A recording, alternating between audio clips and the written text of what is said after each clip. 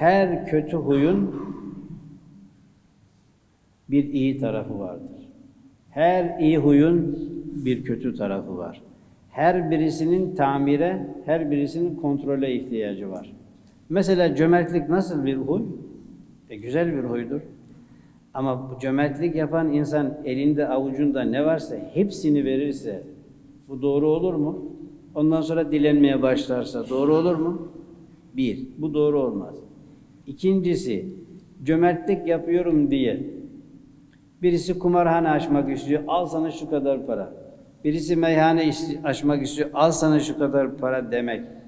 Bu doğru olur mu? Cömertlik yapıyoruz ama nereye cömertlik yapıyoruz? Bir haramın inkişafına cömertlik yapıyoruz. Adamlar köylüleri bir araya toplayabilmek için dernek kuruyorlar. Bu dernekte işte gençler kopmasınlar diyorlar. Güzel. Yani bu faaliyet haddi zatında güzel. Ama o gençleri bir araya toparlayabilmek için içki sofraları kuralım, kuralım.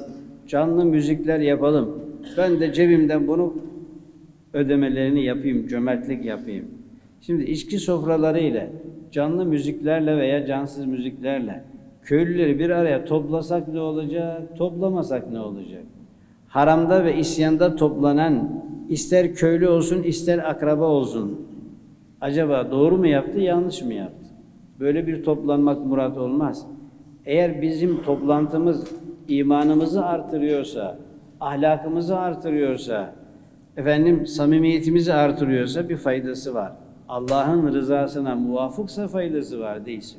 Yani cömertlik güzeldir ama o da yerinde olması lazım. Sinirlenmek, gazap güzel değildir ama haram karşısında gazaplenmezsen o da yanlıştır. Düşmana karşı gazap olacak, şeytana karşı gazap olacak, şeytan gibilere karşı gazap olacak, haram haramlara karşı gazap olacak. Yani her huyun kullanılacağı yer vardır, kullanılacağı miktar vardır.